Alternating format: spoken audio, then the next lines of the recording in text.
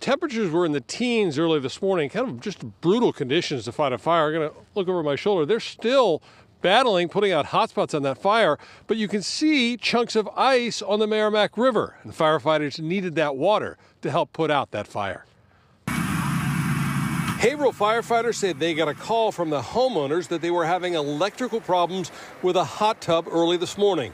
And by the time Haverhill Fire arrived, this home was fully engulfed in flames. Well, we had some issues with fire hydrants coming in. A, a fire hydrant, the main hydrant, you came down the main road, it's a long road. That problem with a hydrant forced firefighters to draw water from nearby Merrimack River to battle the blaze. And just 10 minutes down the road in Merrimac, crews battled another fire. Firefighters were called to a multifamily home on Church Street. Complicating matters, multiple fire hydrants were malfunctioning, likely due to the cold. No reports of any injuries. The two families who live in this home are now displaced.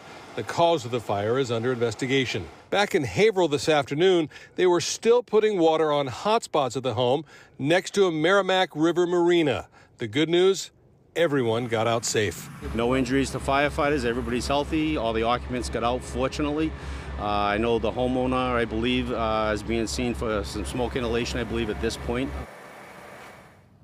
Back live now, they are still putting out hotspots on that fire, but we're told none of the boats connected nearby to this marina were affected by this blaze.